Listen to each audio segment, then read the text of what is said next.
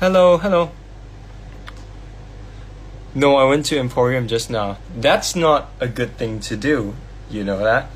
Because social distancing. Everybody should be at home right now and trying not to, you know, disturb other people and uh, potentially spread the virus. So that's not really good. You should stay home. But other than that, what what are you guys doing at home right now? Because Oh, you can play the piano now?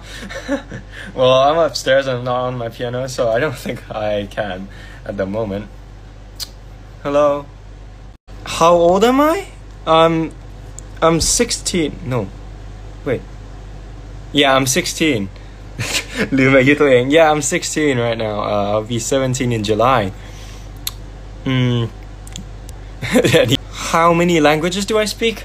Uh, I speak. I'm fluent in two, and I speak three. So I speak English, uh, Thai, and Chinese. Uh, and I'm fluent in Thai and English. Uh, as for my Chinese, it's not that. It's I can listen to an extent, but if you want me to hold a conversation, that'll be kind of hard for me. Uh, is it hard to learn Thai language? In my opinion, uh, the Thai language, as in the speaking language, uh, or the vocalization of it, isn't that hard. Uh, it's not like a what do you call it? It's not like Chinese or uh, Japanese where it's uh, low. I can't remember.